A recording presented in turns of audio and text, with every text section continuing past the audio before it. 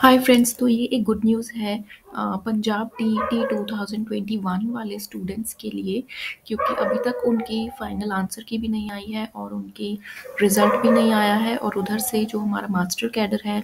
उसकी जो last date थी वो थर्टीथ जनवरी थी तो वो डेट चेंज होके टेंथ ऑफ़ मार्च हो गई है। तो अब आप टेंशन फ्री हो सकते हो, आपका होपफुली तब तक आपका रिज़ल्ट आ जाएगा। तो ये आप नोटिफिकेशन ये अपडेट आप एजुकेशन रिक्रूटमेंट बोर्ड पे भी देख सकते हो, जहाँ पे लिखा है कि जो लास्ट डेट थी मास्टर कैड का फॉर्म भरने की, वो थर्टियथ से चेंज होके टेंथ मार्च कर दी गई है। तो होपफुली आपका रिज़ल्ट आ जाएगा और आप टेंशन फ्री होके इस फॉर्म को भर पाएँगे, जो कि अब बहुत सारे स्टूडेंट्स सोच रहे थे कि फॉर्म भरें या ना भरें, कितने मार्क्स भरें फॉर्म में दैट वाज द प्रॉब्लम तो अब ये प्रॉब्लम सॉल्व हो गई है होपफुली इस टाइम तक हमारा रिज़ल्ट आ जाएगा। सो so, आप अपनी मास्टर कैडर की अगर आपकी आंसर की के अकॉर्डिंग आपको लगता है कि आप पास हैं तो आप मास्टर कैडर की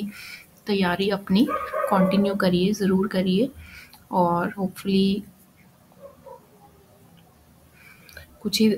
टाइम में हमारा रिज़ल्ट भी आ जाएगा। So all the very best